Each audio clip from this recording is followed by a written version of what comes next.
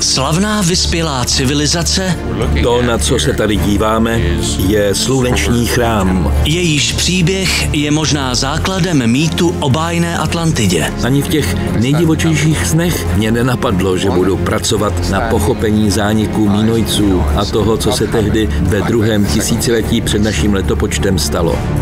Skutečná Atlantida. V neděli ve 2025 na CS Mystery.